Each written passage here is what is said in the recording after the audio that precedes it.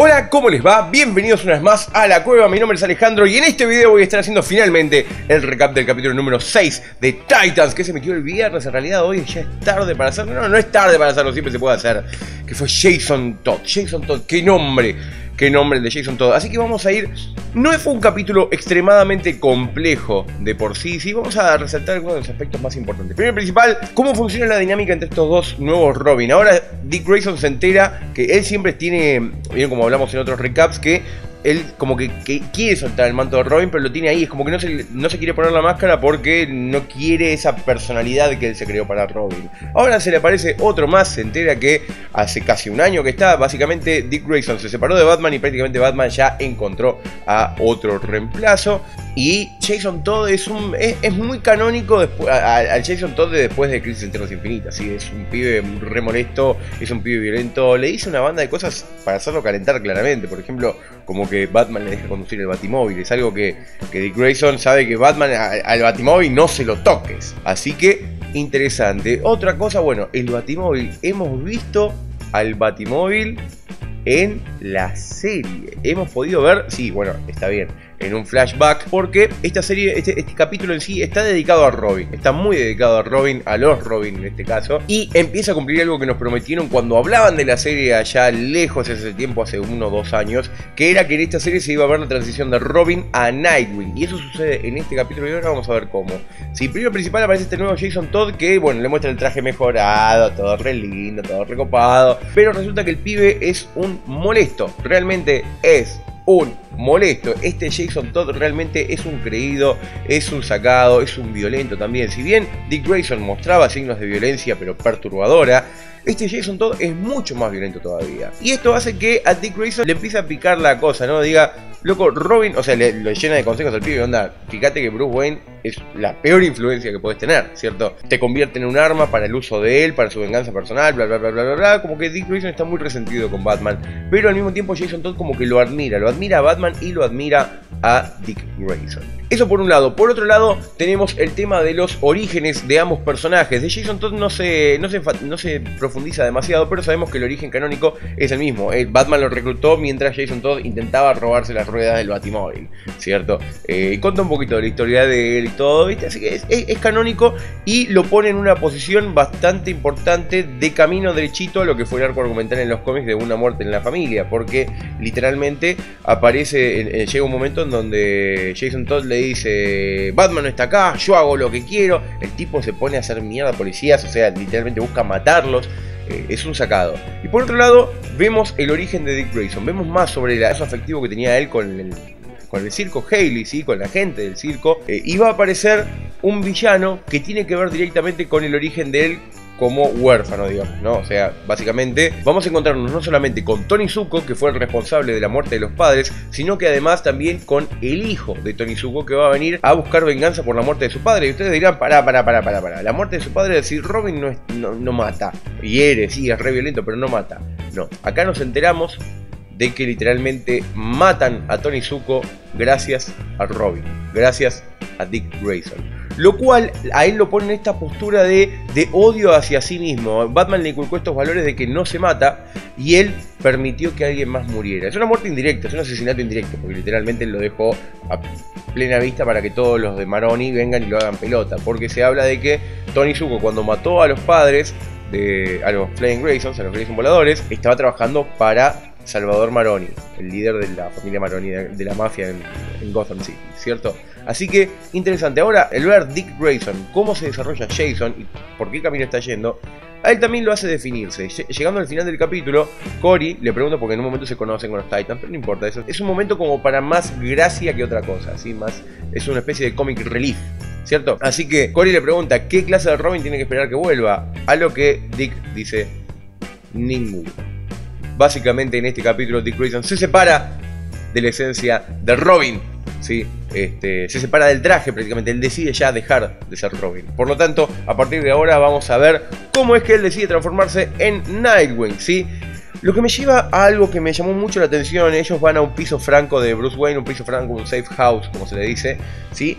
Este, y ahí, bueno, obviamente el departamento está equipado con computadoras, con material para cirugías y demás. De hecho, Dick Grayson se entera que tiene un chip, un chip de rastreo que le implantó Batman, no sabe cuándo.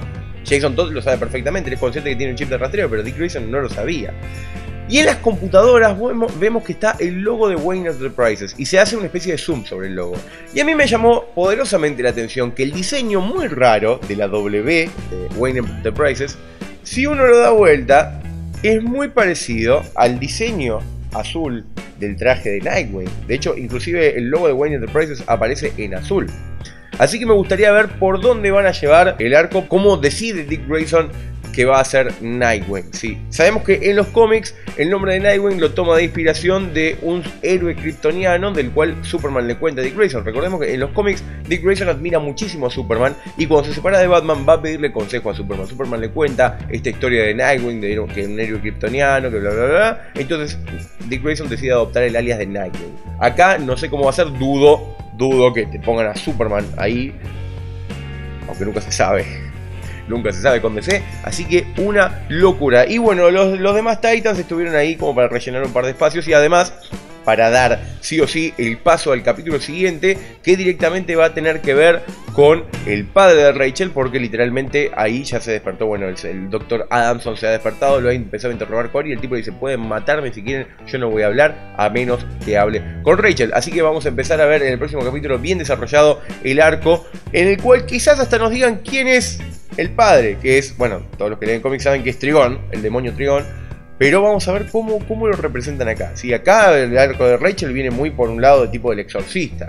Así que veamos cómo se desarrolla. Así que bueno, esto ha sido el recap del episodio de Titans, episodio muy serio. El, anterior tuvo muchos momentos graciosos, este yo tuve muchos momentos que me reí, pero realmente es un capítulo mucho más serio, mucho más visceral, mucho más profundo sobre la historia de, Dick Grayson. Sí que en este capítulo literalmente es él el protagonista, pero además me llama mucho la atención que la serie se sigue mejorando capítulo a capítulo. Cada capítulo, o sea, mantiene, mantiene, mantiene, e inclusive en esa mantención se siente como que cada vez está mejor se siente cada vez mejor. Inclusive hay un momento en un flashback, ¿sí? De cuando Dick Grayson atacó el camión donde llevaban al padre, a, Tony Zuko, que es el, momento en el que muestran después que lo deja morir, ¿sí? Un doble CGI muchísimo mejor usado que en el capítulo Origins, en el tercero, que fue usado para el traste, realmente, ese cuando Robin de chico salía balanceándose por los árboles de la mansión Wayne. Así que espero que les haya gustado, espero que lo hayan visto y si no lo vieron, no sé qué esperan para verlo. Eh, ya próximamente deben estar los subtítulos disponibles, así que creo que próximamente van a poder eh, acceder a eso. Así que, ¿qué les ha parecido? Ustedes ven Titan, no lo ven, si lo están viendo, ¿qué les parece? Ah, para mí se perfila como una de las mejores series del 2018, pero por lejos. Es, algo que aparte desconcierta porque uno dice, eh, ¿en serio Warner hace lo que hace en el cine y ahora DC nos muestra que podrían hacer algo como esto? Porque si algo como lo que están haciendo en Titans estuviera en el cine, yo no voy a decir Marvel estaría cagado en las patas que no, no es así. Pero realmente habría una competencia importante entre las dos empresas que generarían que toda la gente se muriera de hype, no solamente por las cosas de Marvel, sino también por lo de DC.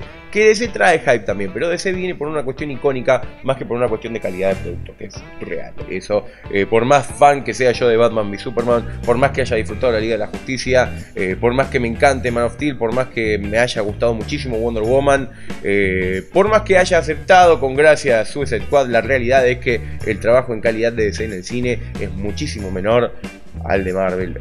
No, sé si menor, lo que, lo que es no, no es tan vendible como el de Marvel. Esto es realmente muy vendible. ¿Y por qué? Porque tiene una calidad alucinante. Así que eso estaría... Qué lindo sería ver eso en el cine. Así que bueno, cuéntenme cuáles son sus opiniones acá abajo en la caja de comentarios. Saben que siempre leo todo y ahora después de hacer esto voy a editarlo, voy a subirlo y después me voy a poner a ver eh, los comentarios que me llenaron de comentarios en los videos de la juntada ayer, en los videos del unboxing del Venom que se llevó Javi de Zona Geek. Sí, Javi te mando un saludo grande. Y bueno,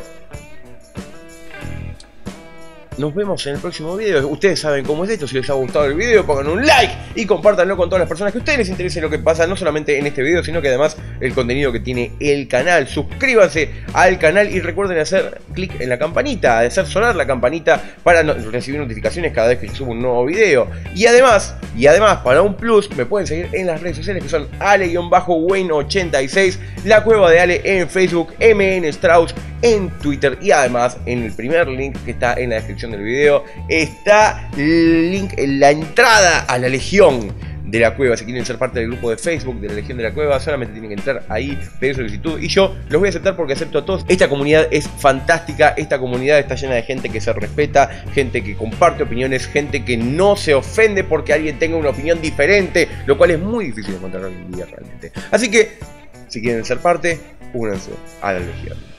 Esto ha sido todo por este video. Nos vemos en el próximo, me repito, video. Adiós.